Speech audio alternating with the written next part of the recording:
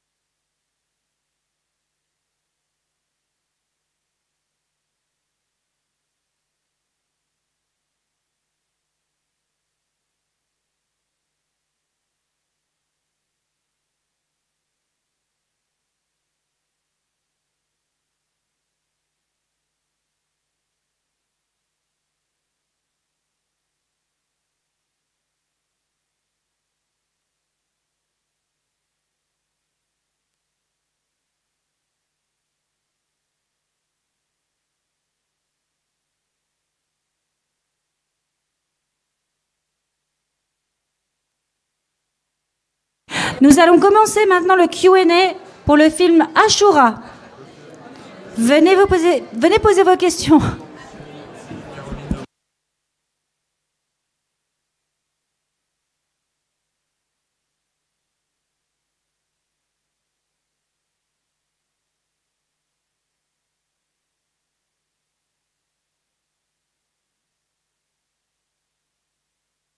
Je vous rappelle que le Q&A est enregistré et diffusé en live sur les réseaux sociaux.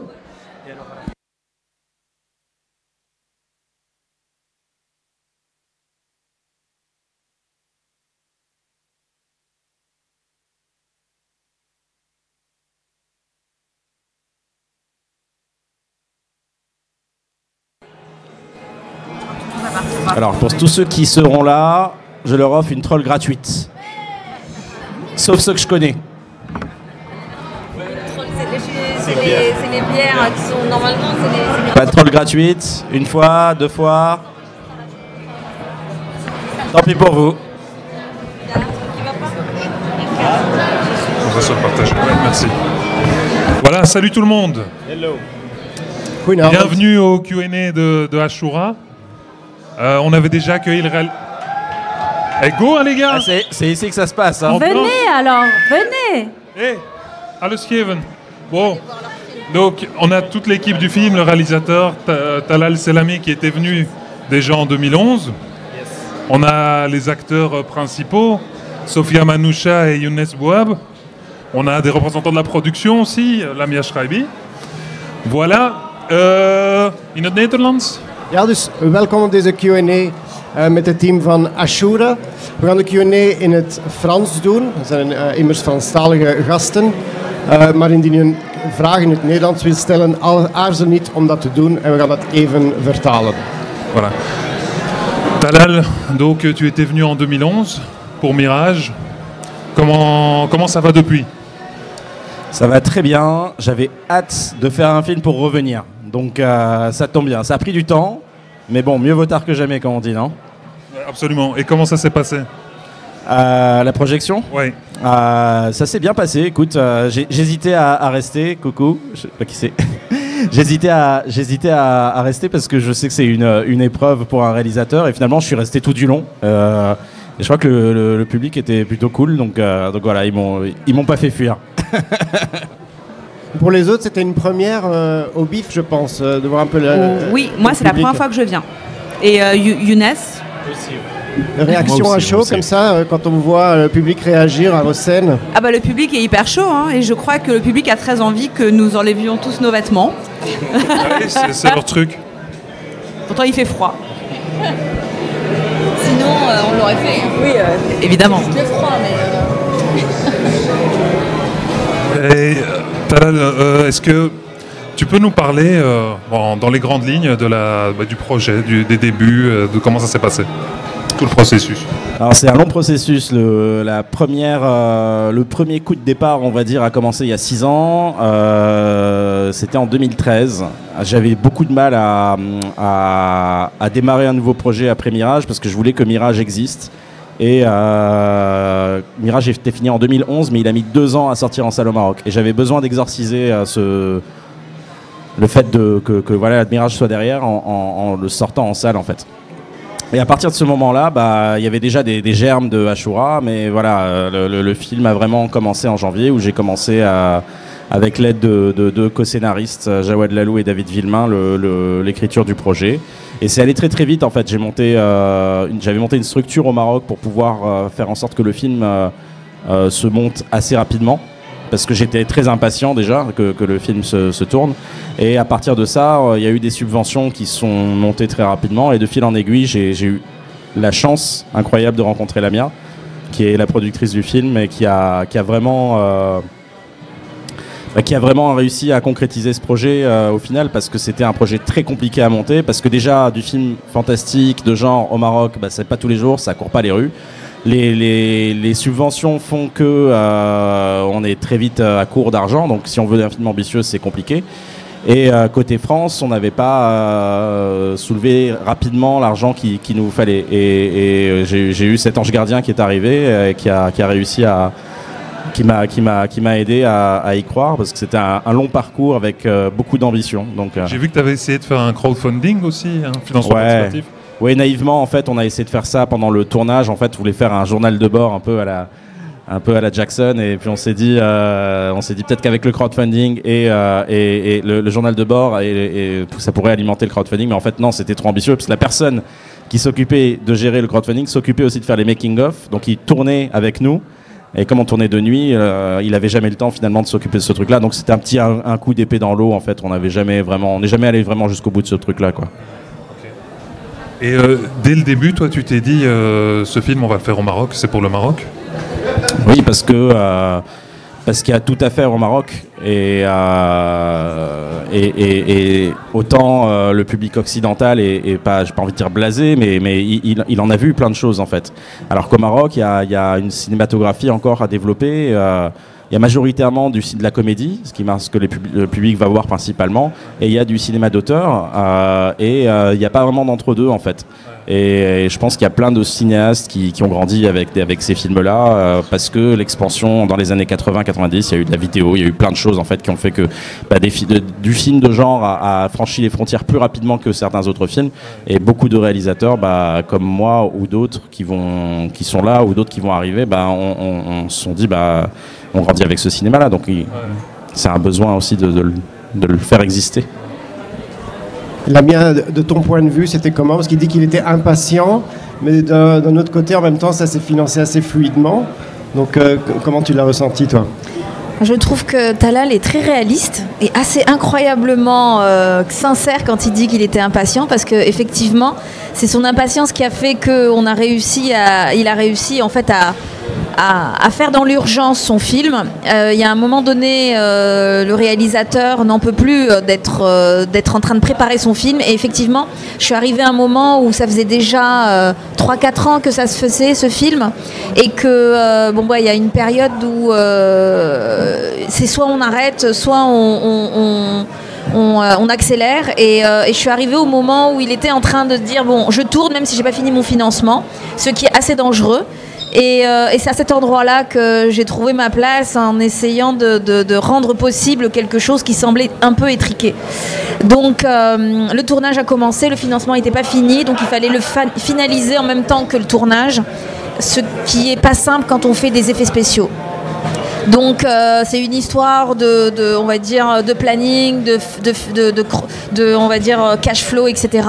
Bref, pour la faire simple, euh, son impatience est à la fois une bonne chose, mais à la fois de temps en temps un peu difficile à, à, gérer, on va dire, euh, en termes de production. Euh, ce que disait Talal tout à l'heure, c'était euh, pour que le Maroc a pour habitude de recevoir des projets euh, de comédie, effectivement, ou des drames sociaux. Euh, là, euh, on vient de le montrer euh, au Festival National à Tanger et je pense que le film a fait, a fait effet auprès du public. Ils n'avaient jamais vu ça et c'était franchement une première. Et c'est exactement le, le- la- le- la- le comportement que moi j'ai eu quand j'ai lu le scénario. J'avais jamais lu ça et j'avais jamais pensé produire ça. J'ai pour habitude de faire des films un peu chiants. Ah d'accord. Je vais essayer d'être le plus, plus audible. Euh, donc ouais, j'ai l'habitude de faire des projets un peu plus chiants, des films d'auteur, des films, euh, enfin en tout cas qui amuseraient personne Du ici. coup, tu étais réticente à le faire au départ euh j'étais réticente parce que c'est pas mon genre de film et j'étais pas sûre de- de- d'être capable de faire ça. En fait, on a l'habitude de de- d'avoir peur de ce qu'on ne connaît pas. Et euh, quand euh, j'ai lu le scénario, je le trouvais intéressant, j'avais envie de le voir, mais j'étais pas sûre de savoir le produire. Et, euh, et puis Talal m'a donné tellement de crédit que fait, euh, bah, en fait, j'ai eu l'occasion de, de- m'exercer sur ce film. Et euh, ça va être l'occasion aussi pour beaucoup de, de- voir possible ce genre de film au Maroc. Voilà. Justement, les... un- une petite question pour les comédiens. Comment vous êtes retrouvés dans ce projet? ben, euh, ben, en fait, c'est mon, mon- Je crois que tu devais le faire avec mon frère. En fait, t'as- mon frère est aussi comédien, mais il était sur autre chose et il a dit écoute, euh, il y a Younes aussi, qui, enfin, il connaissait aussi, et puis. euh, Vous a- ressemblez ou- On se ressemble pas trop, on se ressemble, mais on se ressemble pas. C'est euh, c'est compliqué. Et puis voilà. Et J'ai rencontré Talal et puis il m'a dit est-ce que tu es partant? Est-ce que ça te va? Je lui ai dit ouais, ouais, ouais, à fond. J'ai lu, j'ai adoré en fait euh, l'idée. Tu avais déjà eu un peu d'expérience dans, ce, dans le cinéma de genre ou pas spécialement? Non, j'avais fait un polar un peu noir et tout, mais un film avec autant d'effets spéciaux, avec autant de de- de- d'amour du genre, non. Et, euh, et ça n'a, j'avais jamais vu ça au Maroc, je pense. Et, et puis aussi, j'avais vu Mirage, qui est un peu dans le même style et qui est aussi euh, qui aime, c'est un film qui aime le genre, quoi. C'est enfin, c'est des voilà. Euh, alors, euh, moi, je venais, d'être prénominée au César pour euh, le film Le Noir te vous va si bien. Et moi, j'ai fait beaucoup de cinéma d'auteur et en tant que française d'origine marocaine, je regardais un peu ce qui se faisait au Maroc et je suis tombée sur Mirage. Et, du coup, j'ai entendu que Talal préparait un film, mais que c'était des filles qui étaient quand même beaucoup plus connues, qui étaient pressenties. Et je sais pas comment j'ai fait pour trouver ton contact. J'ai vraiment, j'ai retourné là le. Je sais, je sais pas ce que j'ai fait. J'ai réussi en tout cas à rentrer en contact avec toi et j'ai fait en sorte qu'il entende parler de moi. Et euh, non, mais vraiment, la, la meuf acharnée quoi. Il y avait un poltergeist en fait, tu as, tu as lancé un polterge- poltergeist mais- à Metros. Mais vraiment, quoi. Genre, j'ai j'ai demandé limite à l'univers, il faut que je rencontre ce mec, il faut que je rencontre ce mec. Mais je savais, voilà, il y avait des filles qui étaient pressenties, qui étaient vraiment des, des comédiennes euh, connues. Et euh, je crois que je t'ai eu à l'usure, quoi. Clairement, faut, faut rien lâcher. Une détermination qui a payé, quoi. Mais ouais, en plus, euh, moi, j'ai jamais fait d'école de, cinéma, euh, j'ai aucun code d'acting. Moi, je fais du cinéma, euh, le type de cinéma que Lamia produit, clairement, le cinéma d'auteur, où tout se passe à l'intérieur. Et Talal me disait, mais exprime-toi, et moi, j'étais là. Donc pour moi, c'était, ça, a été, euh, ça a été hyper violent de, de, de, de, jouer autre chose que de l'introspection, mais c'était... euh, c'était euh, moi, je suis sortie de ce tournage, j'ai gagné 5 ans de métier. Après, j'ai enchaîné une pièce de théâtre, j'étais là, ouais, c'est bon, je sors tout. mais c'est, non, mais c'était... mais voilà comment ça s'est fait. Mais j'avais surtout très envie de faire le, scénar- le, le film. J'ai lu le scénario, j'ai adoré, je lui ai dit, non mais c'est moi que tu dois prendre pour le film. Clairement. J'ai pas eu le choix. Voilà. Non mais vraiment. hein. Entre-temps, je ne sais pas s'il y a quelqu'un euh, qui souhaite poser une question dans le public ou commencer à y réfléchir pour après. Pas de souci. Une bière, donne-leur une bière. J'offre une bière à celui qui vient poser des questions. ne, so- ne- ne soyez pas timide. Et puis, euh, pour continuer à parler un petit peu casting, euh, il y a aussi le travail avec quand même plusieurs acteurs enfants euh, qui en plus bah, représentent les mêmes, euh, les mêmes personnages euh, mais à d'autres époques. Donc, comment ça s'est passé avec eux pour, euh, pour essayer de créer le lien entre le, le personnage adulte, le personnage enfant et, et pour travailler avec eux tout simplement? C'est pour qui? C'est pour moi. Talal, je pense. Alors, euh, les enfants, c'était euh, c'était un gros challenge parce que j'ai, enfin, c'est très connu. On dit souvent, euh, il y a deux, deux interdits, c'est les, les chiens et, et les enfants. On avait, euh, on avait un chien dans le scénario à la base que j'ai, que j'ai, qu'on m'a, forcé à virer au forceps, heureusement. Et euh, mais j'ai gardé les enfants et je me pensais pas simplifier la vie. Il y avait, il y neuf, avait neuf enfants à caster. Euh, c'est pas simple, c'était pas simple parce que au Maroc il n'y a pas, on va dire de de, beaucoup d'enfants professionnels euh, comédiens. Donc on a, on a fait, on n'a pas fait un casting sauvage. On est vraiment passé par une, agence de casting qui a pris des enfants qui ont fait de la pub. Euh, Quelques-uns avaient fait des, avaient des petites expériences euh, dans l'audiovisuel ou dans la fiction. Et, mais la plupart c'était des, c'était gamins qui avaient jamais fait de, de cinéma de leur vie, quoi. Donc il fallait, il fallait, il fallait les, les mettre en confiance. Et c'était très, ça s'est fait très simplement parce qu'en fait les enfants, contrairement aux grands, bah, se posent pas de questions. Euh, comme on le dit souvent, en fait, ils, jouent littéralement, en fait. Ils sont pas, euh, ils sont pas en train de, de, de, réfléchir leur, euh, leur façon dont ils vont s'exprimer, tout ça. Non, non, ils sont très spontanés. Et c'est de ça, en fait, qu'on s'est servi au maximum, en fait, pour essayer de tirer le meilleur d'eux, quoi. Voilà, tout simplement. Et, je suis assez content. Bah, là, là, déjà, j'étais choqué parce que entre le moment où on a tourné en 2015 et, là, le, le, le moment où le film s'est terminé, bah, ils ont, les gamins ont, sont devenus presque des adultes, quoi. Ils sont, ils sont grands. Ils sont grands. Tu les vois sur Instagram, c'est des ont- adultes. Ils ont peut-être plus de facilité euh, à jouer des, des scènes euh, sur écran euh, bleu ou, ou vert. euh, Ouais. Je sais pas, ça, ça- pour vous, ça se passe comment ces scènes-là euh, quand vous êtes face, face au monstre euh, qui a en effets spéciaux euh, Euh, bah, alors déjà, on n'est on pas face au monstre, on est face à... euh, parfois, on est face à rien, ou on est face à un post-it, ou on est face à euh, quelqu'un qui, euh, qui va jouer le monstre, mais c'est pas le monstre. Donc en fait, c'est vraiment c'est de l'imaginaire. Puis en plus, moi, jusqu'à la découverte du film, à part les tableaux que j'ai vus, moi, je l'ai je l'ai pas vu le monstre. Tu as, tu as vu quand même une. euh, on avait une tête en. Avait- on avait avait une marionnette quand même sur le plateau. Il y, avait, il y avait une marionnette, mais c'est vrai que, que tu que à aucun moment j'ai réussi. J'imaginais ce que ça pouvait donner. euh, Quand j'ai découvert le film à Paris j'ai vu les effets spéciaux, j'étais sans voix parce que moi je, me souviens justement de la marionnette que Fabien euh, euh, interprétait. Donc euh, toi, tu es, dans ton rôle de, Nadia, donc tu es dans l'interprétation et tu es dans la projection d'un monstre. Mais quand tu le vois à l'image, avec les effets spéciaux et tout le travail visuel, c'est assez impressionnant. hein. Et le monstre, justement, Talal, lorsque tu écrivais le scénario, tu, tu l'avais en tête visuellement Tu le voyais vraiment comme ça? Ouais, il y avait. euh, il, il ressemble à 60% au monstre que je que j'avais en tête au départ. En fait, Déjà pas mal. c'est ouais, c'est déjà pas mal parce que c'est vrai que dans un processus de création, en fait, entre le dessin en 2D et, euh, et la- le, ce qu'on voit au final qui est en, en- en 3D, c'est-à-dire qu'on euh, c'est généralement bah, il y, y a beaucoup d'évolution. Et là, là pour le coup, euh, bah, je suis parti avec un créature designer très tôt en fait à l'écriture. J'avais besoin de me projeter. Je suis quelqu'un d'assez visuel en fait. J'ai du mal à parfois m'exprimer avec des mots, mais je m'exprime avec des images. Et, comme je dessine pas, j'ai besoin de m'appuyer sur des gens qui dessinent pour le faire. Et donc il y avait un créature designer qui est très talentueux, qui s'appelle Alexandre Twist, qui avait, travaillé entre autres pour, euh, dans Dark, sur Dark Shadows de Tim Burton ou Silent Hill, qui, euh, euh, m'a fait en fait pendant l'écriture des, croquis en fait de la, de la bestiole. Et comme moi je voulais juste du rough, et lui en fait spontanément parce que le projet l'excitait, il commençait vraiment à faire des dessins très très poussés. Et à partir de ça, en fait, on avait un modèle basé sur quelques références que je lui avais données, qui venaient du jeu vidéo, principalement du jeu vidéo et un peu du cinéma. Et à partir de ça, ça, ça, ça a donné cette bestiole-là. Et quand les gens des effets spéciaux numériques, donc déjà il y avait la, partie euh, en dur en fait, parce qu'on a, on avait une créature en latex avec des, des animatroniques.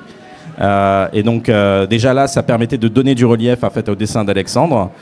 Et, euh, et ensuite, il y a une dernière étape qui est la, création en, en 3D. Et la création en 3D, en- c'était encore autre chose parce que euh, il fallait que la rendre cohérente en fait. Parce que nous, on dit, elle ouvre la bouche, elle avale un enfant, mais eux, ils doivent se projeter à l'intérieur et ils doivent créer vraiment un mécanisme qui fait que quand elle ouvre la bouche, qu'est-ce qu'on voit à l'intérieur de sa bouche et, comment la bouche s'ouvre et comment ça se décompose. Et ça, c'était une vraie prise de tête. Et rien que le plan, il y a un plan très court dans le film qu'on voit où elle ouvre sa gueule en deux et elle avale un enfant. Ça, c'est un plan qui leur a pris un mois, quoi. Juste pour concevoir en fait l'intérieur de la bouche de la bestiole, quoi. Et ça, c'est des choses forcément quand t'as pas forcément l'expérience euh, de, au terme des effets spéciaux, tu as, tu as du mal à te projeter là-dessus. Donc tu dis, la créature mange l'enfant. Et en fait, tu te rends compte que c'est un truc qui va coûter beaucoup d'argent et qui va prendre beaucoup de temps. Non pas qu'il faut pas le faire, c'est bien de le faire, mais il faut le faire intelligemment. Oui, on va peut-être voir si vous avez une question. Si... N'hésitez pas, c'est le moment. Ouais, jamais. N'hésitez pas. Félicitations, tu gagnes une troll. Oh, ça va, merci, merci. En fait, on avait juste une question euh, tous les quatre. On se demande dans le scénario pourquoi à la fin sacri- sacrifier le petit Youssef. Moi, je pensais que c'était euh, Ali qui allait se sacrifier, enfin You- Younes. Pourquoi Parce qu'il a euh, traité sa mère de pute. Ou alors peut-être que la, la bête ne peut avoir comme nouvel hôte qu'un nouvel enfant. Non, je crois que en fait, euh, le, alors c'est très peu explicite. Ça, c'est mon interprétation parce qu'il y a plein de il y a plusieurs interprétations, mais je pense que le le personnage a un problème en fait à la base. Et il est depuis le début, depuis son enfance, il est profondément amoureux de Nadia. Et même quand ils sont séparés, le mec va mal, je pense, qu'il- parce qu'il est amoureux de Nadia. Alors il y a un truc qui est difficile à concevoir, surtout quand on est parent. Entre temps, j'ai été parent, donc je, je me dis j'aurais peut-être pas fait cette fin là. Mais il y a, il y a un truc en fait, je pense, qui, avec le personnage qui n'est pas normal en fait, je pense. Il a, il a fait ce choix en fait qui est un choix difficile. Il a- il a un- tu sens qu'il a un amour inconditionnel pour elle, en fait. Ouais, ouais. Il a toujours été là pour elle et Il est au centre de sa une- vie. Il y a une réalité, c'est que Ali, c'est un, c'est un flic. Ouais. Donc euh, il est là pour protéger les autres et euh, le flic protège euh, le reste des Marocains, des petits, des petits enfants Mm. marocains, euh, parce que c'est aussi euh, son métier. Ouais. Il sacrifie son enfant pour protéger le, le, le pays. À un moment donné, euh, pendant cette scène, ça m'a traversé l'esprit. Je me suis dit, est-ce qu'il va essayer de se le mettre à lui-même en fait? Ouais, non, c'est difficile, je pense. Ouais, On veut, ouais. Parce qu'il faut siffler, puis il peut pas. il aurait dû essayer, n'empêche. C'est de ta faute. Toi qui as décidé. Après, on se demande aussi, euh, est-ce que peut-être ça, ça amène une suite, euh, cette fin, ou est-ce que euh, si c'est pas une suite, euh, peut-être qu'il y aura d'autres films de, de genre pour vous C'est- C'est quoi un peu les projets d'avenir? Alors, une suite, ça, ça aurait, ça aurait été chouette et ça serait peut-être possible plus tard parce qu'il y a aussi cette tradition de suite dans, dans ce cinéma-là. Et c'est effectivement, la fin est ouverte et. Et j'ai toujours, j'ai souvent fantasmé des, histoires, notamment l'histoire du gardien en fait, parce que finalement Ali à la fin devient le gardien lui-même. Et, euh, on peut raconter plein d'histoires autour de ce personnage de gardien et, et on peut imaginer même qu'il y a d'autres djinns dans ce, dans ce monde-là et que le gardien doit garder d'autres djinns. Il y avait une fin à un moment donné qui était écrite dans ce sens-là en fait où on découvrait qu'il y avait d'autres euh, des bocaux avec d'autres euh, d'autres créatures enfermées à l'intérieur. Et bon, finalement, c'était dans une très très ancienne version. Et puis, dans, sinon, dans d'autres projets futurs, euh, j'adorerais refaire des films de créatures parce que j'aime les monstres, mais vraiment. Que même encore aujourd'hui, quand je revois le film pour la 500e fois, je, me plais à voir la bestiole. Et j'adorerais faire d'autres films avec des monstres, des monstres qui racontent des choses et, après plein d'autres histoires. Moi, mon, fantasme, c'est. un, film, un film de guerrière en fait, avec euh, faire faire de la de fantasy euh, au Maroc, ça serait un fantasme ultime, ça. On va peut-être euh, poser la même question à tout le monde sur les, les projets futurs. Bon, Talal, quand tu voudras faire ton film avec une créature, euh, on finira le, de- le montage financier d'abord. hein. Après, on, Alors, on ça sera, s'y met. ça sera peut-être pas une, un film de créature le prochain, mais en tout cas, ça sera un film, Mais la un film de guerrière, la ça me parle, ça me parle. Hein J'en vois une autre là qui, euh, qui a les yeux qui brillent. Non, euh, euh, ouais, je, me, je, je me réjouis de faire euh, le prochain projet avec Talal. C'était pas du tout euh, mon délire de, de faire des films de genre et en fait là il m'a il m'a ouvert l'appétit. Donc euh, bah, comme, le- comme le monstre, bah, j'ai faim et j'arrête pas de lui dire bah alors c'est quoi le prochain? Donc euh, On voilà. va s'y mettre là, on va profiter du bif. Euh, moi, j'ai des films qui sortent en festival, pas mal. Voilà. Tu viens de euh, finir, un- tu as fini un film avec Lamia d'ailleurs, euh, qui, qui, est, qui, qui est en ce Voilà. moment même en train de faire une tournée de festival. Exactement, au même moment qu'on montrait le film euh, Ashura, euh, à Lyon, il y avait un autre film qui est en train de, que, que- que j'ai produit et que, sur lequel Younes a, a joué, qui est euh, dans un festival. Voilà. Et Younes, tu fais, tu fais, tu fais très polar euh, dans, dans ce film-ci. Dans ce un film, peu le volet. euh, c'est ce qu'il voulait, ouais. C'est ton truc aussi Euh, ben, J'avais fait un film qui ressemble beaucoup, enfin dont le personnage ressemble beaucoup au personnage de Ali. Et tu m'avais demandé si ça me dérangeait de. Et euh, non, moi j'étais à fond parce que c'était très différent. Enfin, tu vois, c'est le, c'est assez classique comme personnage, mais mais l'univers est, est nouveau, était nouveau. Donc voilà. Euh, bah, moi, j'ai euh, des films qui, sont, qui vont sortir cette année, puis je prépare un film pour la rentrée. euh, je rentre en prépa en juin sur un film. Voilà. Donc là, il va y avoir une transformation physique, euh, couper les cheveux, perdre du poids, donc euh, on commence la prépa en juin. Voilà. vous en saurez plus bientôt. Voilà, je pense qu'on va, on va clôturer. Si vous voulez rajouter quelque chose, libre à vous. C'est un dernier mot pour finir. Moi, en fait, euh, je suis venue au BIF alors que je suis en tournage. Parce que le réalisateur m'a dit que tu verras, le, le BIF c'est particulier, c'est une audience très particulière et, euh, et c'est important que tu viennes voir ça, que tu viennes vivre ça. Donc euh, j'ai laissé le tournage et je suis venue vivre ça et en fait je le regrette pas du tout parce que c'était effectivement spécial. Donc euh, j'adore les audiences où, euh, où on vit le film, où on partage et où on, euh, on ressent on, ressent des choses et qu'on les communique. Voilà, donc c'est bien. Continuez comme ça. Je reviendrai. Faut vite faire le troisième pour venir, hein. très vite. Euh, merci beaucoup d'être venu. Et puis bonne Merci. bon Bah, merci pour votre accueil et euh, vraiment, c'est en tout cas la vibe est géniale ici. Moi, c'est la première fois que je viens. Je suis euh, toujours un bonheur. Moi, c'est la j'ai tourné deux films en Belgique et à chaque fois, c'est, euh, je tiens à le dire, hein, les Belges, vous êtes, vous êtes trop, vous êtes au top, quoi. Voilà, il y a une petite euh, séance de signature, euh, si vous voulez. Et alors le livre d'or, on va signer le livre d'or. Donc, Ouais. Merci beaucoup à toute l'équipe de, de, de Ashura. Merci. Merci. Alors euh, maintenant, si vous voulez bien, pour ceux qui veulent faire euh, signer, vous pouvez avancer. Vous êtes les bienvenus. N'ayez pas peur, ne soyez pas timides.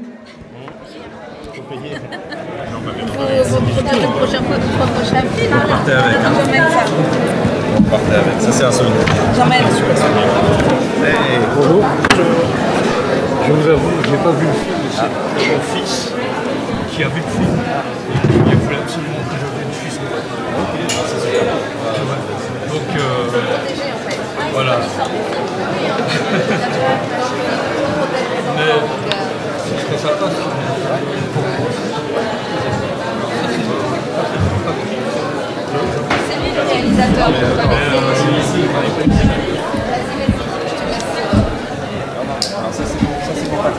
Et l'autre, c'est pour samedi. Maintenant,